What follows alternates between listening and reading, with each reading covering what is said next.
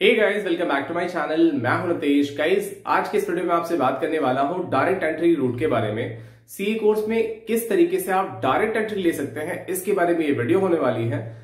Last video में मैंने ये डिस्कस करा हुआ था कि आप किस तरीके से सीए बन सकते हैं। उस वीडियो में मैंने entire procedure of CA course मैंने डिस्कस करा हुआ था और उसमें मैंने दोनों ही रूट्स के बारे में, चाहे आप सीए फाउंडेशन रूट के थ्रू आते हैं या फिर आप सीए डायरेक्ट एंट्री रूट के थ्रू आते हैं, दोनों ही रूट से आप किस तरीके से एंट्री ले सकते हैं, उस वीडियो में मैंने बताया हुआ था।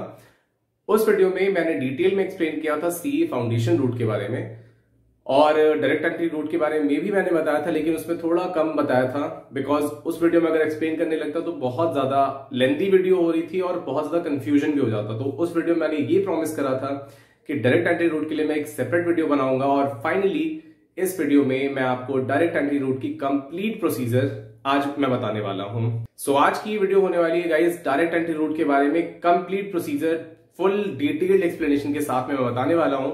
तो चलिए वीडियो को शुरू करते हैं। Before that one very important update for you all guys C effect is now on Telegram also Telegram पे गाइज़ आपको सर्च करना है सी इफ़ेक्ट और आपको ये सी इफ़ेक्ट का ये ऑफिशियल चैनल मिल जाएगा। इस पे जितने भी लेटेस्ट अपडेट्स होंगे, आपको टेलीग्राम पे भी मिल जाया करेंगे और साथ ही साथ जो डाउनलोडेबल फॉर्मेट होंगे वो भी आपको यहाँ पे प्रोवाइड हो सकेंगे। तो गाइज़ अगर अभी तक आपने सी को टेलीग्राम पे ज्वाइन नहीं किया हो तो टेलीग्राम पे भी आप सी को ज्वाइन कर सकते हैं। लिंक डिस्क्रिप्शन बॉक्स में दिया हुआ है। सबसे पहले बात करते हैं गाइज़ की डायरेक्ट एंट्री रूट क्या होता है। ऑब्वियसली जैसा इसका नाम है डायरेक्ट एंट्री रूट इसमें क्या होता है कि आपके सीए में जो तीन लेवल्स होते हैं, जैसा कि मैंने लास्ट वीडियो में बताया था सीए फाउंडेशन सीए इंटरमीडिएट और सीए फाइनल इन तीन लेवल्स में सीए कोर्स डिवाइडेड होता है। तो अगर आप डायरेक्ट एंट्री रूट के थ्रू एडमिशन लेते हैं तो आपको जो पहला लेवल होता है, यानी कि जो सीए फाउंडेशन का लेवल होता है, उसको आपको एग्जेम्प्ट कर दिया जाता है। यानी कि आपको सीए फाउंडेशन में अपियर नहीं करना होता और इसीलिए इस रूट का नाम डायरेक्ट एंट्री रूट रखा गया होता है। कौन इसके लिए एलिजिबल होता है? गाइज़ इसके लिए दो टाइप्स के स्टूडेंट होते हैं जो सीए कोर्स में डायरेक्ट एंट्री ले सकते हैं। पहले तो वो स्टूडेंट होते हैं जो कि ग्रेजुएट या पोस्ट ग्रेजुएट हैं और दूसरे वो स्टूडेंट होते हैं जिन्होंने आईसीएसआई या फिर आईसीएमएआई का इंटरमीडिएट लेवल क्रॉस कर रखा हुआ है। सीएस या सीएमए कोर्स का इंटर लेवल जिन्होंने क्लियर कर रखा है, उनको भी यहाँ पे डायरेक्ट एंट्री मिल जाती है इनटू सीए कोर्स अब मैं इन दोनों ही टाइप के स्टूडेंट्स के बारे में वन बाई वन आपको बताता हूँ। पहले मैं बताता हूँ कि अगर आप ग्रेजुएट या पोस्ट ग्रेजुएट वाले स्टूडेंट हैं तो किस तरीके से आप डायरेक्ट एंट्री ले सकते हैं? उसके बाद हम बात करेंगे सीएस और सीएमए स्टूडेंट के लिए। गाइज़ अगर आप ग्रेजुएशन या पोस्ट ग्रेजुएशन के बाद आप सीए कोर्स में डायरेक्ट एंट्री लेना चाहते हैं तो उस केस में आपको एक सेट परसेंटेज क्राइटेरिया भी फॉलो करना पड़ता है। अगर आप ग्रेजुएट हैं फ्रॉम कॉमर्स स्ट्रीम यानी कि आपने बी कॉम या एम कॉम करा हुआ है तो उस केस में आपको मिनिमम 55 परसेंट मार्क्स आपके होने चाहिए। और अगर आप अदर स्ट्रीम से आ रहे हैं, यानी कि बीए बीएससी एमए या एमएससी करा हुआ है तो उस केस में आपके मिनिमम 60 परसेंट मार्क्स होने चाहिए। केवल तभी ये जाकर के आपको सीए कोर्स में डायरेक्ट एंट्री मिल सकती है। यानी कि अगर आप ग्रेजुएट या पोस्ट ग्रेजुएट है, उसके बाद भी आपके इतने परसेंटेज नहीं आते हैं तो उस केस में आपको सीए कोर्स में डायरेक्ट एंट्री नहीं मिलने वाली।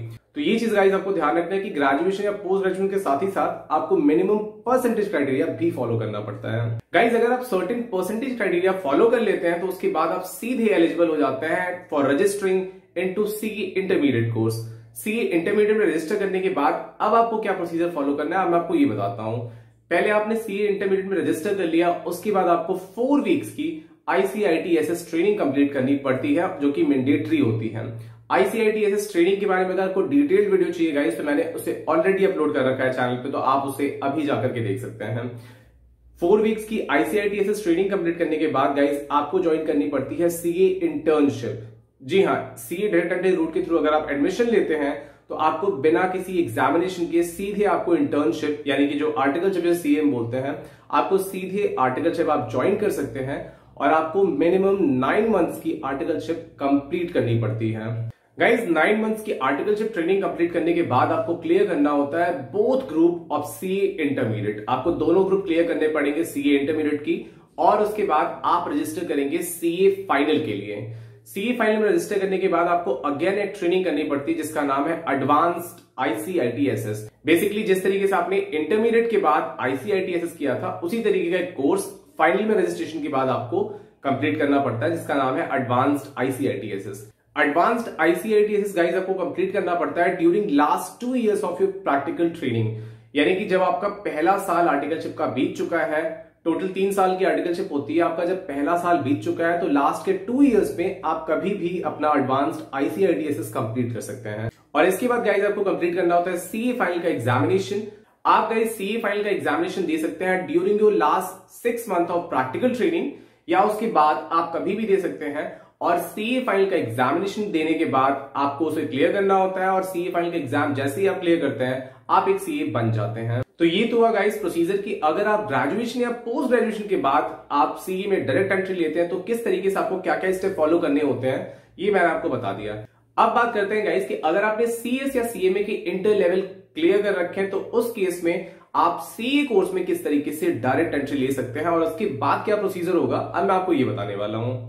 गाइस अगर आप एक सीएस या सीएमए स्टूडेंट हैं और आपने सीएस या सीएमए का इंटरमीडिएट लेवल ऑलरेडी क्लियर कर रखा है तो उस केस में आपको सीए कोर्स में भी डायरेक्ट एंट्री मिल सकती है और आप सीधे रजिस्टर कर सकते हैं for CA intermediate CA intermediate में रजिस्टर करने के बाद गाइज़ आपको कंप्लीट करना पड़ेगा मिनिमम एट मंथ्स का स्टडी पीरियड और उसके साथ साथ आपको कंप्लीट करना पड़ेगा फोर वीक्स की आईसीआईटी एस ट्रेनिंग और इन दोनों को ही कंप्लीट करने के बाद आप अपियर कर सकते हैं फॉर सीए इंटरमीडिएट एग्जामिनेशन और सीए इंटरमीडिएट एग्जामिनेशन का कोई भी एक ग्रुप यानी कि फ़र्स्ट ग्रुप या सेकंड ग्रुप दोनों में से कोई ही ग्रुप क्लियर करने के बाद आप ज्वाइन कर सकते हैं योर आर्टिकलशिप ट्रेनिंग अब यहाँ पे गाइज़ अगर आपने एक ग्रुप क्लियर करके आपने आर्टिकलशिप ज्वाइन कर ली है तो आपको आर्टिकलशिप के दौरान आपका सेकंड ग्रुप क्लियर करना पड़ेगा। अगर आपने बोथ ग्रुप क्लियर करने के बाद सीए आर्टिकलशिप ज्वाइन करी है तो आप सीधे रजिस्टर हो सकते हैं फॉर सीए फाइनल कई सीए फ़ाइल रजिस्टर करने के बाद आपको फिर से एक ट्रेनिंग कंप्लीट करनी पड़ेगी, जिसका नाम है एडवांस्ड आईसीआईटीएसएस एडवांस्ड आईसीआईटीएसएस जैसा कि मैंने अभी बताया, आप अपने प्रैक्टिकल ट्रेनिंग के लास्ट टू इयर्स में कभी भी आप कंप्लीट कर सकते हैं। और उसके बाद आपको क्लियर करना पड़ेगा CA final examination CA final examination guys आप दे सकते हैं during your last six month of practical training यानी कि आपका जब last six month of practical training चल रहा हो, आपके ढाई साल की आर्टिकल से पहले कंप्लीट हो चुकी है तो उस केस में आपका जो भी अटेंड पढ़ रहा हो, आप सीए फ़ाइल का अटेंड दे सकते हैं और आपको सीए फ़ाइल का एग्ज़ाम क्लियर करना होता है। और अगर आपने लास्ट सिक्स मंथ में आपने एग्ज़ाम दिया हुआ है सीए फाइनल का और आप उसे क्लियर करते हैं तो आपको सीए क्लियर करने के बाद आपका रिमेनिंग जो प्रैक्टिकल ट्रेनिंग का पीरियड होगा, वो आपको कंप्लीट करना पड़ेगा। अगर आप पूरे तीन साल की ट्रेनिंग कंप्लीट करने के बाद आप अपियर करते हैं फॉर सीए फाइनल एग्जामिनेशन तो जैसे ही आप सीए फाइनल एग्जामिनेशन कंप्लीट करते हैं, आप एक सीए बन जाते हैं। तो ये होता है गाइस कंप्लीट प्रोसीजर अगर आप सीएस या सीएमए के इंटरमीडिएट लेवल के स्टूडेंट हैं और आप सीए कोर्स में डायरेक्ट एंट्री रूट के थ्रू एडमिशन लेना चाहते हैं तो इस तरीके से आपको ये ये स्टेप फॉलो करना पड़ता है आपके सीए बनने के लिए। अब गाइस क्वेश्चन आता है, आप में से बहुत सारे स्टूडेंट ये पूछते हैं कि कौन सा रूट ज़्यादा बेटर होता है? यानी कि आपको जो ट्रेडिशनल मेथड है, यानी कि जो सीए फाउंडेशन रूट होता है, उस रूट के थ्रू एडमिशन लेना चाहिए।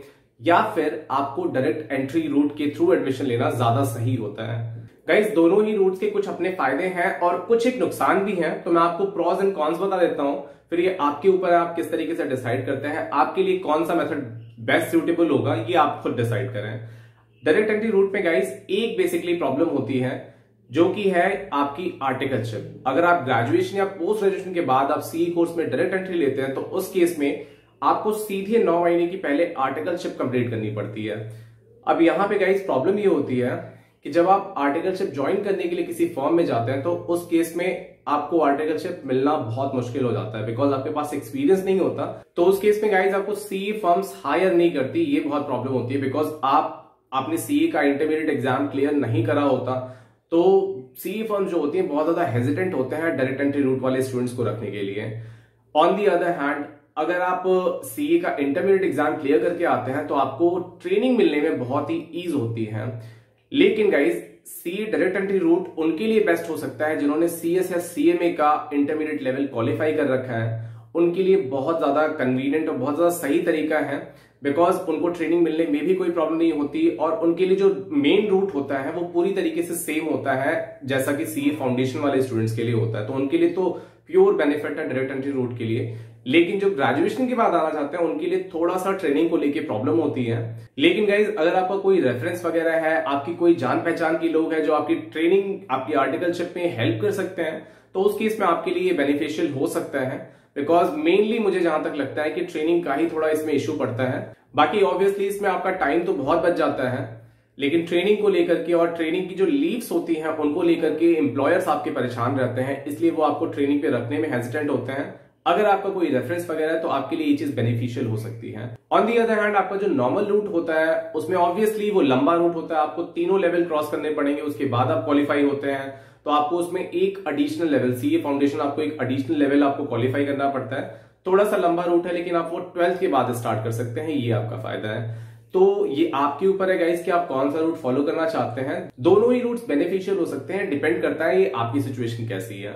ऑल राइट गाइज़ तो ये थी complete video on C A direct entry route मैंने गाइज़ अभी लास्ट वीडियो में सीए कोर्स का पूरा स्ट्रक्चर बताया था, और इस वीडियो में मैंने डायरेक्ट एंट्री रूट को पूरी तरीके से एक्सप्लेन कर दिया है।